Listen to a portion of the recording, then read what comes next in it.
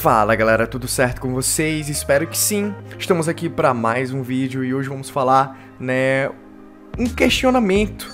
Cliente mais conservador justifica o motivo pelo qual o Virtus tem mais novidades do que o Polo, tá? E a gente vai trazer esse comparativo do Virtus e do Polo aqui no canal e puxando esse aí por quê, né? Isso aconteceu. Mas antes, peço para todos deixarem seu like e se inscreverem no canal, realmente é muito importante aqui pra gente. Estamos aí com aquela meta de chegar a 25 mil inscritos, temos vídeo todos os dias, assim, bem informativos aqui para vocês, então deixem aquela força. Estou pegando a notícia da Motor1.com, o link está na descrição do vídeo. Vamos embora.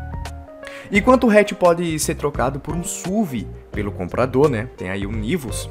O sedã tem um perfil mais maduro, né? Realmente ele trouxe aí as versões porque não tem um substituto direto aí mais premium em relação tem, né? O Jetta só porque os valores são realmente muito maiores. Vamos lá.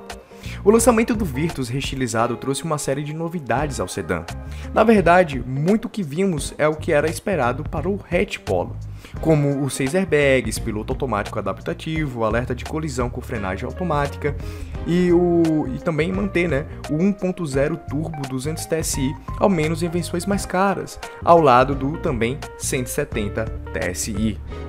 O Polo até foi justificado pela briga interna né, com os SUVs, já acontecia do cliente do hatch olhar para a diferença de preço e optar por um Nivus, ou até mesmo um T-Cross, por exemplo, até por ter mais equipamentos, ser um carro mais alto e tudo mais.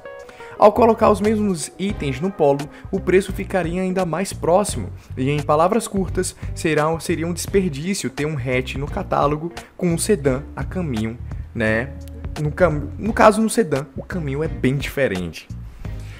Ciro Possobon, espero estar pronunciando da forma certa, que é o CEO da Volkswagen do Brasil, explicou que já era uma suspeita.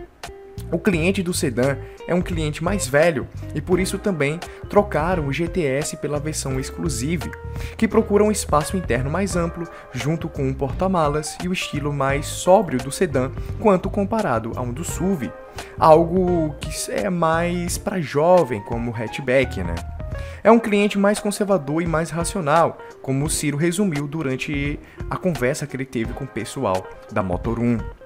Por isso, o Virtus evoluiu mais que o Polo e até mesmo se distancia ainda mais, inclusive no visual.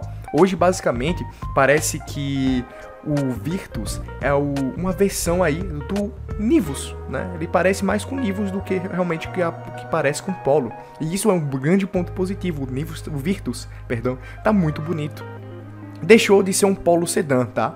Para assumir uma posição própria, mais próxima de um Jetta, por exemplo, com a sua versão exclusiva e sem uma pretensão de ocupar o lugar de um Voyage, como o Polo tem agora, né, com a versão Track do novo Gol.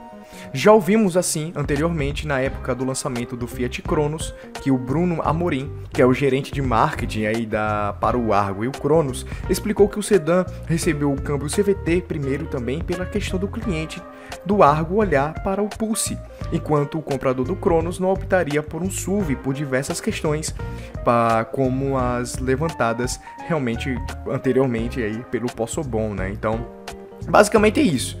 Se você quer um carro mais premium, um hatch mais premium, hoje existe os SUVs, né, que é os, os hatches altinhos, que é o Nivus, temos o Pulse, entendeu? E caso você queira um sedã, geralmente o cliente sedã realmente não vai mudar para um Nivus, tá? Ele vai querer continuar com o sedã. Então, por isso eles melhoraram o sedã e deixaram o hatch um pouquinho de lado para ser as versões de entrada, basicamente dos hatches altinhos, que é o Nivus, ou que é o Nivus isso, e o Pulse, tá? Mas é isso, galera. O que vocês acham? Realmente esse posicionamento é ok? Ou que realmente foi um vacilo não ter evoluído o polo tanto quanto o, o, o Virtus, né? Porque realmente o Virtus tá muito lindo, tá? É pouca diferença, né? Parece quando você olha assim, parece ser pouca diferença, mas quando você vai olhar detalhes, realmente ficou bem superior. Mas enfim, deixa a sua opinião. Isso vai prejudicar o Polo? Ou isso acaba ajudando o Polo por ser, ficar até mais barato do que a versão anterior, né? Então, quero saber a sua opinião, beleza? Muito obrigado, galera, por ter assistido até aqui. É... Valeu, falou e até, até mais.